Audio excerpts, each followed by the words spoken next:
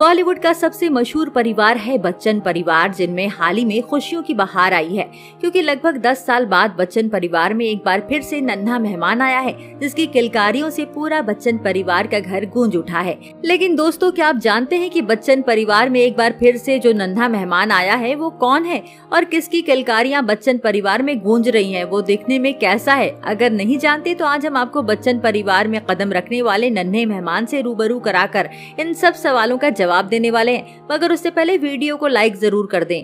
दोस्तों, आप सभी ये तो जानते ही हैं कि अमिताभ बच्चन का परिवार बॉलीवुड का सबसे रिस्पेक्टेबल परिवार होने के साथ साथ काफ़ी मशहूर भी है, क्योंकि बच्चन परिवार में कई सेलिब्रिटी जो मौजूद हैं, जिनकी वजह से अमिताभ बच्चन का परिवार आकर्षण का केंद्र बना रहता है। मगर आपको बता दें कि आजकल बच्चन परिवार अपने फेम की वजह से लाइमलाइट में नहीं छाया हुआ है, बल्कि इन दिनों अमिताभ बच्चन के मीडिया में काफ़ी बने रहने की वजह एक छोटा सा बच्चा है, जिसके कदम हाल ही में अमिताभ बच्चन के घर में पड़े हैं, जिस नन्हे बच्चे के आने से जितने खुश अमिताभ बच्चन हैं, उतना पूरी दुनिया में कोई भी नहीं है। जी हाँ दोस्तों, आपको बता दें कि अमिताभ बच्चन के घर में हाल ही में एक नन्हे मुन्ने बच्चे ने कदम रखा है, जो कि एक लड़का है, जिसके जन्म के बाद से अमिताभ बच्चन काफ़ी ज़्यादा खुश नज़र आ रहे हैं और उनके चेहरे पर चमक भी साफ़ देखी जा सकती है। मगर अमिताभ बच्चन के घर में आए इस बच्चे के बारे में बात की जाए तो आपको बता दें कि इस बच्चे की माँ अमिताभ बच्चन के बेटे अभिषेक बच्चन की पत्नी ऐश्वर्या राय नहीं है। लेकिन फिर भी अमिताभ बच्चन को इस बच्चे से इतना लगाव हो चुका है कि इस बच्चे की माँ के बारे में बात करें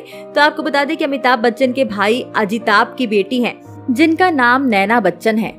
जिन्होंने अभिनेता कुणाल कपूर से शादी की है और उनके बच्चे की माँ बनी है, पर अभी तक उन्होंने इस बेबी को रिवील नहीं किया है। आपको बता दें कि अमिताभ बच्चन नाना बन गए हैं और इसी वजह से अमिताभ बच्चन इतने ज़्यादा खुश हैं और अमिताभ ही नहीं, बल्कि पोती आराध्या भी बहुत खुश हैं, क्योंकि उन्हें भी कोई दीदी बोलने वाला मिल गया है। तो दोस्तों, आप इस बच्चे की माँ किसको मान बैठे थे? आप हमें कमेंट करके बताएँ और ऐसी तमाम खबरें जानने के लिए आप हमारे चैनल को सब्सक्राइब करना ना भूलें।